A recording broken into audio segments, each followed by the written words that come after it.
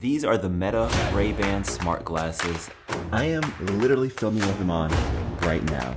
I recently ordered these and I was so hyped to try them, especially since the quality on the camera is quite good and the new improvement to the speakers, and it even has an AI assistant. Hey Meta, how many miles is a 10K?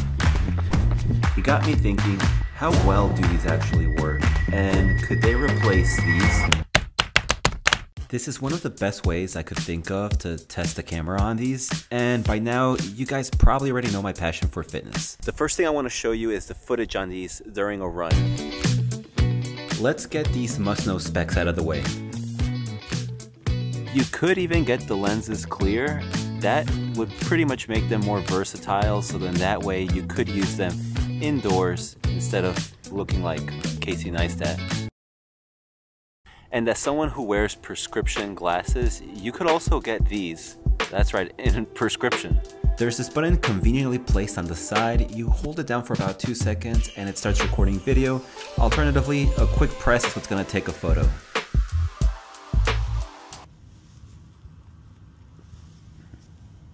The impressive part is when you compare these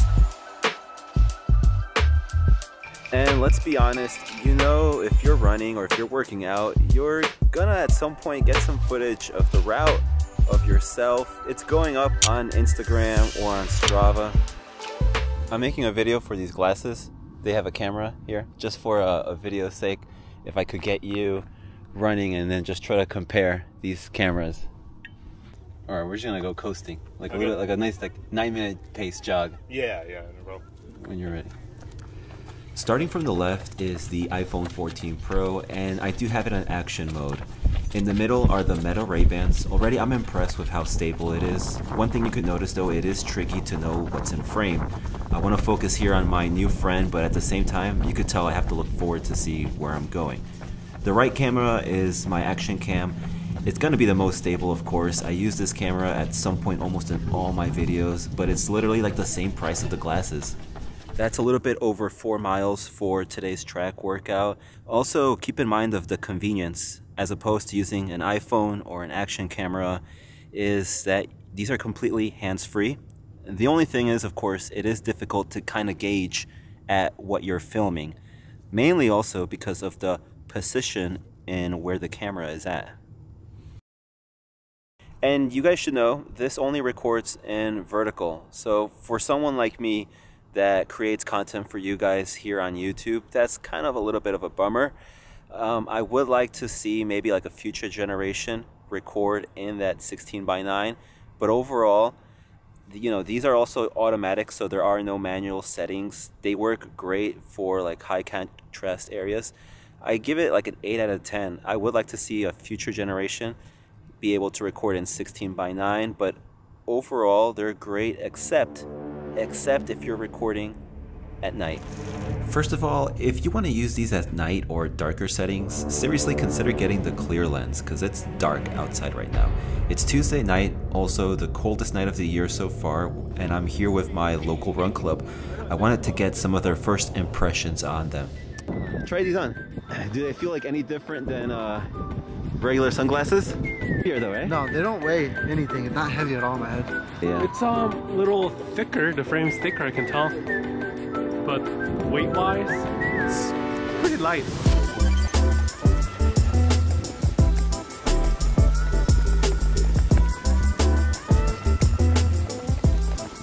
At this point, if you're telling yourself that you would never work out with these, these aren't meant for running. You're gonna damage these. Well, this new generation is IPX4 water resistant. So it's even on their website that if you do get caught in a light rain, that they'll be fine. Just dry them after you're done. Of course, water resistant doesn't mean sweat resistant. So from my experience though, if you follow me on Instagram, I've been running with these on for six to seven weeks and I've had no issues at all. The lenses have a top-notch build to them and the case, it may resemble a typical Ray-Bans, but it's not your typical case. The case is how you would charge the Ray-Bans. It uses a USB-C and it's right here at the bottom. A light indicator in the center which goes from green to orange to red. And inside it has a connector, sort of a nose hold, which connects the glasses to the case. I dig the case, the camera, but surprisingly, what I find most useful are the speakers. About a year and a half ago, I started using bone conduction headphones, open ear headphones, which makes sense. That's when I started to run more. And for all you guys that don't know, those are, it allows you to listen to music, audio, without being so disconnected from the world. It allows you to hear your outdoor surroundings. These are gonna give you somewhat of the same experience. Not the bone conduction part, but the ability to listen to your music and hear everything around you. And not just for running, I actually use these a lot when I'm taking a call. I'm getting something for my car right now, and once I'm done here at the auto parts store, I'll go ahead and go home and yeah, I'll make some dinner. Okay, I'll see you later. These have four speakers, two on each ear, and it's honestly been my favorite experience. The convenience of going anywhere and leaving my earbuds behind. Similar to open ear headphones, when you have the volume on these at like 70% or more, you are going to notice some noticeable sound leakage.